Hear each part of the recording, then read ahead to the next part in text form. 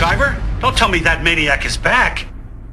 I've anticipated everything MacGyver's creative little mind. And why can't you accept it? Because every time I think Murdoc is dead, he comes back.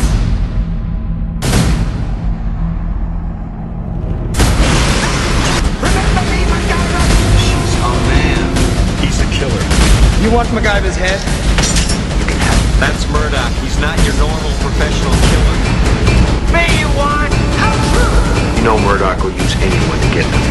So long, MacGyver. Rest in pieces. Blew it again, huh, Murdoc? And you didn't know Murdoc, because if you did, you would understand MacGyver's concern. What's wrong, MacGyver? Starting to see ghosts? What kind of game are you playing, Murdoc? But if you do go MacGyver, you're gonna have to live with the death of an innocent girl on your conscience. Murdoc! Still playing your sick games! You were a target, and I don't do that. Come on, Murdoc. After all this, you're not gonna just shoot me, are you? Are you going? Look out! Ah! But you know, MacGyver, I convinced everyone that I was dead. Except for you.